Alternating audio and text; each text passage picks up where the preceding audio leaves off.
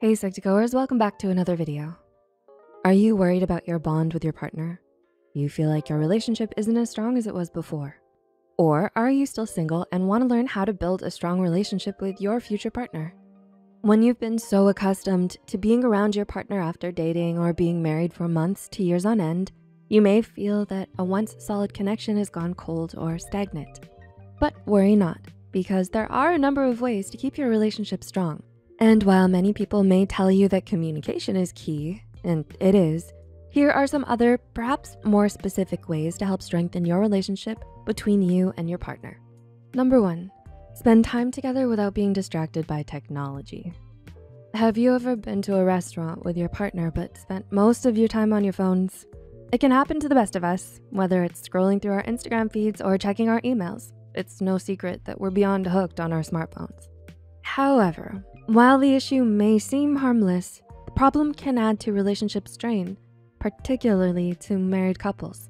A New York Times article from 2016 points out that while men and women are equally as attached to their devices, women in partnerships react more sensitively to it. Dr. Susan Heitler, author of Prescription Without Pills, noted that one of her clients, who was fearful that his partner was unfaithful to him, reacted to his anxiety by retreating further into his smartphone rather than facing the issue head on.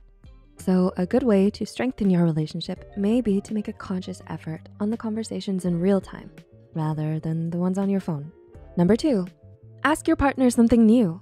When was the last time you asked your partner a deep thought-provoking question? When you get so used to being around someone, it's common to think that you know everything there is to know about them.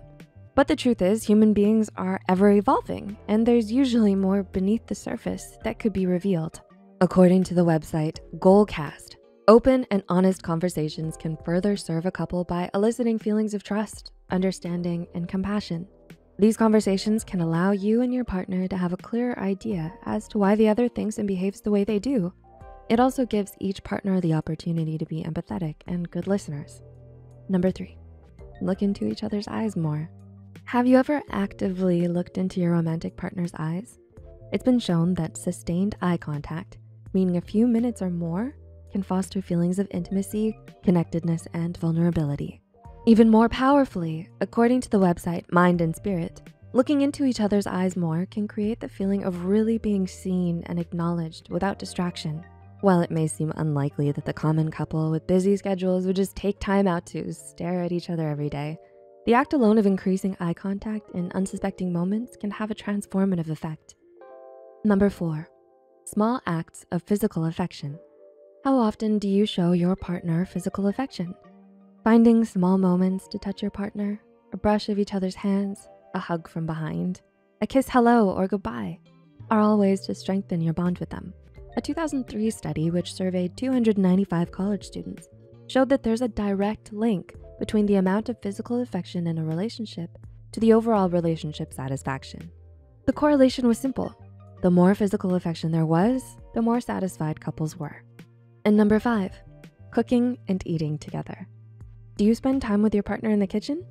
Cooking together can be an overlooked way to strengthen the bond with your partner because sometimes it can be logistically difficult to do. For example, you and your partner may come home from work at different times, but making a conscious effort to make a meal together can be the perfect opportunity for you both to share stories about your respective days, to banter, and simply work towards something together.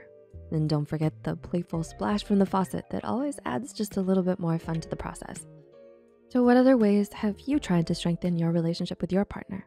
Let us know in the comments below. If you found this video helpful, be sure to like and share this video with those who might benefit from it. And don't forget to subscribe and hit the notification bell icon to get notified whenever Psych2Go posts a new video. The references and studies used in this video are added in the description below. Thanks for watching and see you in our next video.